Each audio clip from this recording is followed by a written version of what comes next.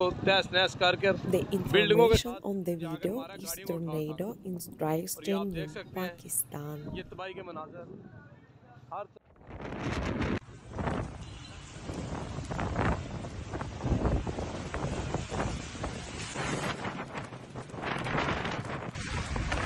The tornadoes which has resulted in significant damage to homes and infrastructure.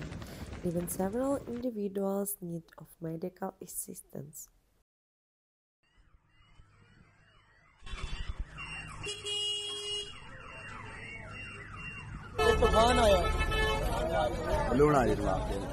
Emergency services are on high alert, racing against time to provide aid those affected in this natural disaster.